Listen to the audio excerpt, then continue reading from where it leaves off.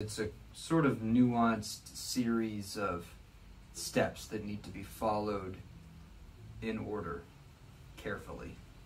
Take the orange top off this thing. Screw this into here. And it should be pretty tight. So now this, uh, whatever these are called, uh, knob, uh, when you, you turn this and then the liquid from here will drain into here, right? So just like we combined the two black, the black epoxy and white epoxy uh, from the jars, the same principle here. These two need to combine, and when they do, they'll start to harden and so forth. Okay, so they're combined. So you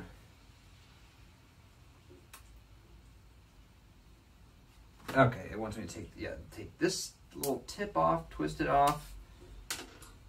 You uh, turn this back to close it up.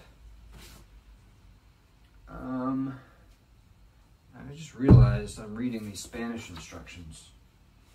I don't speak Spanish. I know a little bit, but oh, there we go. Once you rip this little top thing off, um, you attach this hose.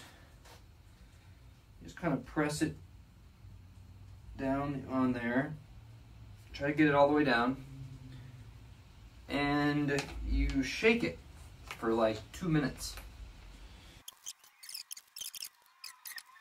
Funny. I'm just reading the instructions. The instructions say don't attach the hose until after you shake it up. But, uh, you know, it doesn't really matter.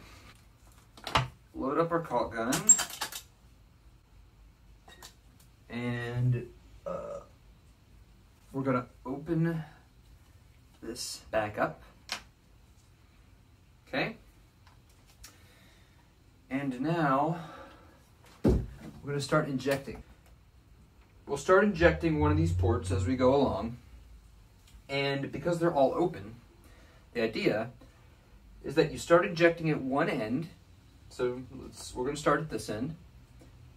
The liquid flows into the crack, and you know it, that it's flowing into the crack because eventually it should start to flow out of the other ports as long as they're connected to the crack.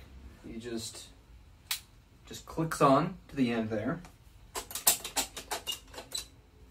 You'll see the liquid start to flow out. Some air bubbles. And there we go. Okay. So it kind of snaked up there, and now it's flowing into the crack. Load the liquid in slowly. Uh, it takes, this is a long process. It takes a while. So I'm going to close it by pulling it out and disconnect the hose. And I'm to move on to the next one.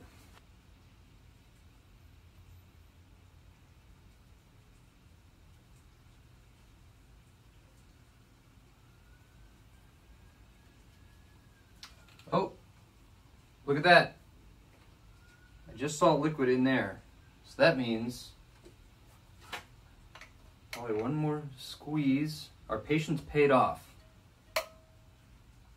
All right, the liquid is now coming out of the next port. All right, just dripped out, so I'm gonna close it by pulling on it. Now, what we do is we take the hose out of this port and close it, hook it into the next one, and push it down. And now, we're going to inject the epoxy into the port that the liquid just flowed out of.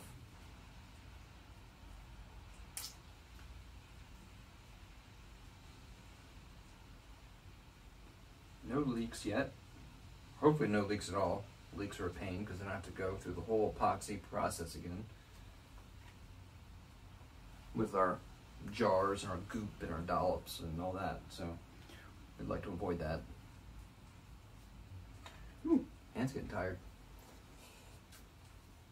It might be nice for them, for Simpson or whoever you know makes your your kit, to have a little like graduated, you know, measuring ruler or something on the bottle so you can keep track of where it is. All right, moving on to the next port.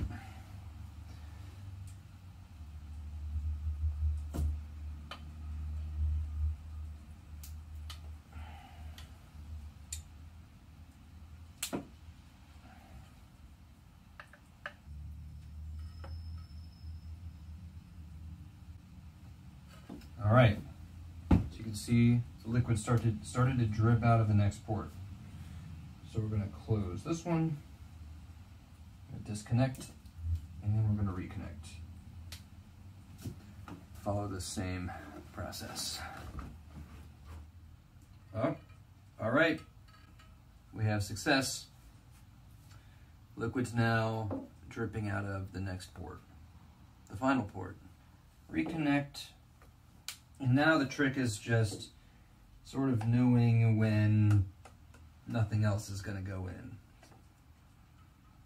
It can be kind of hard to tell sometimes, but the important thing is that we've filled up most of the crack. Now it's just, uh, you know, putting on the finishing touches here.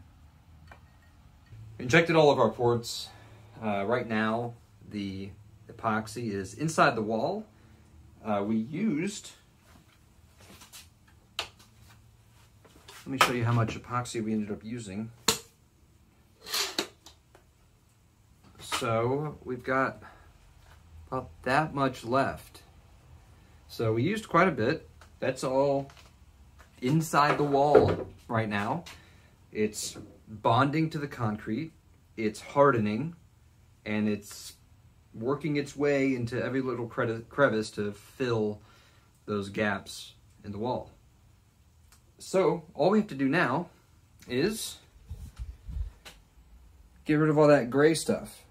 So I'm gonna go get my angle grinder, one of my grinding discs, and we're gonna get to work grinding all that down and flattening it, smoothing it, and getting it ready to uh, clean up and paint.